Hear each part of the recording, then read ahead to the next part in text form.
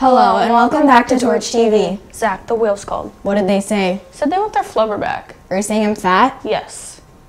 Respect. What you think of yourself is way more important than what others think of you. Happy birthday today to Michael Delgado and Carissa Simmons. And now let's welcome Kanye with Friend Button. Hello, my name's Kanye, not West, East. Do you need a friend to talk to? Well, you came to the right place.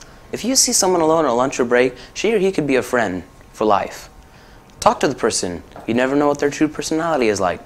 But that's not all. Share a talkie with them. Share your secrets like friends do. Share your opinions with them.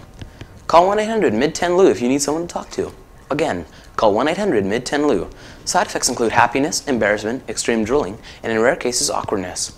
Ask your parents before use. I was there with Frederick on the elevator. I used the unfriend button. Then I invented the new friend button and used it on Mr. Scratch and Sniff. Thanks, Kanye.